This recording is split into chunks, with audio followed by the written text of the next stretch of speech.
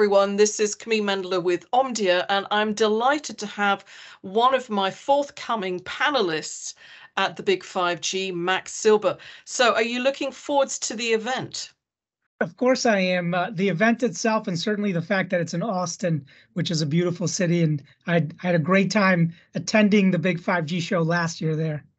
Yeah, it's certainly the place to be, Austin. All of that uh, tech money coming in, and some of that tech money is going to be around 5G. We hope, right? We hope, um, of course.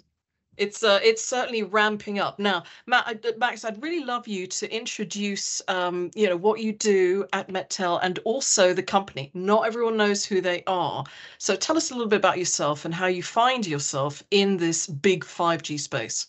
Sure. So I'm as my official title is VP of Mobility and IoT here at MetTel. What that basically means is I oversee uh, anything to do with our uh, distribution of mobile services or IoT services to around 5,000 corporations and organizations.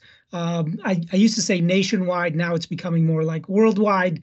Oh, uh, and we, yeah. we really support everyone from medium sized business all the way up to enterprise, as well as some uh, government customers, like the U.S. government is a big customer for MetTel as well. Uh, we do not do anything in the consumer space, so our consumers are really the end users of a corporation that are given a device with service from that corporation. Well, the enterprise is the place to be. It's where everyone is focusing in on, including, you know, like the big telcos who used to love consumers and now think that enterprise is the place to be. But you've been there for a number of years.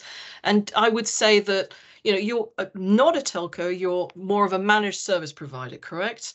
Uh, what makes yes. you a bit more different, I think, in, in this 5G space? So I think I think the way we approach the market is very different. I think that's where we've seen some great success. Whereas a traditional MNO uh, might look at selling a service and selling it with a device, uh, we look at the end user experience. We look at delivering everything as a service. So, for example, our most popular go-to-market program for enterprise has been our MDAS or mobile device as a service offering that you know does everything from you know these shiny beautiful things to any kinds of rugged all the way down to ruggedized tablets and anything else you can think of uh, but really providing it as a complete service. Uh, the, the, I think the the real gap that we solve for is uh, through what we saw through the pandemic and after we still see about 50% of end users from the corporation being in some form of remote or hybrid state. And that makes it incredibly difficult for an IT department to service because, it, it, as you probably know, if you're home and you walk into your kitchen and accidentally smash your phone, um, calling your IT department, getting them to issue a ticket, start swapping devices, it's it's cumbersome. It requires a lot of involvement. So we've really solved for that. We have a complete uh, MDAS program with a device replacement through the term of the contract. Uh, and that's really how we've approached the market. That's been very different than how the MNOs go to market. Right. Well, I'd love to look at your contracts, and I used to negotiate and evaluate um, enterprise SLAs. So uh, that that is really where you're coming from. And so 5G is just something you're adding to enhance the experience. Is that yeah. that that would be one way to position it? Is that right? 5G for us is ultimately an enabler. It's an enabler uh-huh. of providing a better user experience. Now, our users could be a person or it could be a waste truck driving around doing its pickup. Wh- whoever that end user is or whatever object that end user is, 5G just provides that better overall experience to the user. Now, we keep throwing around this term 5G, but it's not a single service. You know, it's a portfolio that's got like fixed wireless, there's the mobility, there's the private, um, private 5G. What are you focusing on and where, where do you position yourselves in that sort of portfolio? So MetTel actually, as an organization, does a lot more than just mobility. I mean, we do everything up to and including SD-WAN, where we're considered a leader in the Magic Quadrant for Gartner uh, for managed network services. So we we really try to to to instill technology where it's going to provide the greatest value to the end user, obviously within budget, because budget's also an important element. Oh, yeah. So I'd say I'd say we really play in in just about every one of those elements, everything from the end user device to private networks, where we do a lot of private network requirements. We haven't gone as far as slicing just yet.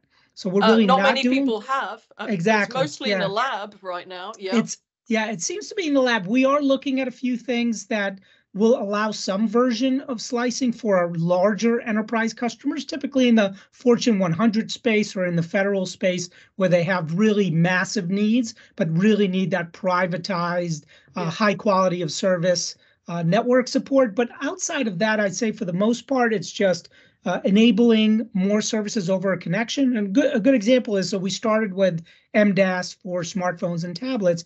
Now we're looking at adding laptop as a service for 5G enabled laptops like the Qualcomm Snapdragon chip that's coming out with Yep. Lenovo and Surface and a few other models. So it's really just about, you know, how is that going to get to a place where, and, and for some of our enterprise customers, they wanted to get to a place where 5G in an embedded laptop is the primary connection. They don't even want the risk of having end users try to uh, connect to a, a Wi-Fi, for example.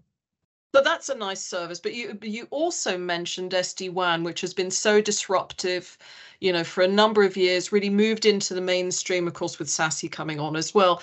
Um, do you think that 5G's you know uh, what that combination of SD-WAN and 5G how is that going to play out in the market you know is one driving the other sort of a chicken and egg type of thing you know, what type of context you see, see these two being used together So I think for years now, actually, the way we originally launched SD-WANs was with a mobile connection. Now, primarily it was being used as a secondary or backup Mhm. because of the consumption. So everything really comes back to the econ, basically the economic value for the customer. Could we turn on 5G as one of the primary links that we're blending into a high quality of service SD-WAN endpoint connection? Absolutely. We could do it right now and we can deploy every time we deploy a pre-mounted board to a customer with SD-WAN with all the wiring with the wireless component or router already mounted on the board, we could just put a 5G module router, but then the, the question comes back to cost. Is the cost there yet? And it isn't quite there yet. We can't deploy fixed wireless or wireless backup 5G and just say, hey, it's unlimited, it's part of the regular plan. But I think consumers at this point want it. They do want it because it's the quickest, most reliable way for them to get a connection at a location where they want to be able to implement SD-WAN and continue to have that high quality of service. And and that 5G F, FWA and SD-WAN can work very nicely when time is money. And I've spoken to like franchises, you know, pizza franchises where, you know, the first out there is going to win the business. And so that's been a great solution for them. Depends which part of the country. So it's an interesting time, isn't it, with 5G coming into the market, really becoming more mainstream. It's taken a little while though.